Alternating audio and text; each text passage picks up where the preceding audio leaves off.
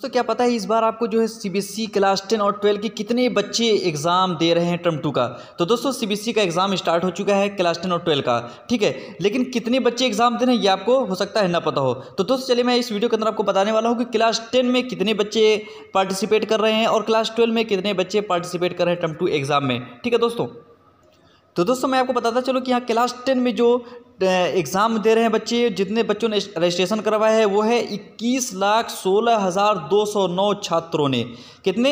इक्कीस लाख सोलह हज़ार दो सौ नौ स्टूडेंट्स ने रजिस्ट्रेशन करवाया है क्लास टेन के लिए सीबीएसई में, ठीक है?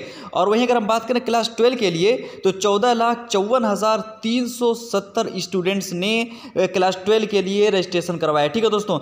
यानी कुल मिलाकर अगर हम बात करते हैं तो तकरीबन 35 लाख स्टूडेंट्स ने क्लास टेन और ट्वेल्व में रजिस्ट्रेशन करवाया है। तो जी हाँ दोस्तों, इस बार जो एग्ज़ाम हो रहा है क्लास टेन और ट्वेल्व का, उसमें तकरीबन 35 लाख बच्चे जो है एग्ज़ाम दे रहे हैं। ठीक है, तकरीबन 35 लाख बच्चे एग्ज़ाम देने वाले हैं। तो दोस्तों, ये है न्यूज़ जो मैं आपके सामने रख रहा हूँ। क्लास टेन में जो है, वो एक बार फिर से बताता चलूँ। क्लास टेन में इक्कीस लाख सोलह हज़ार दो सौ नौ छात्रों ने रजिस्ट्रेशन करवाया है और क्लास ट्वेल्व में चौदह लाख चौवन हज़ार तीन सौ सत्तर स्टूडेंट्स ने क्लास ट्वेल्व के लिए रजिस्ट्रेशन करवाया है। तो दोस्तों, एग्ज़ाम स्टार्ट हो चुका है छब्बीस अप्रैल से क्लास टेन और ट्वेल्व का।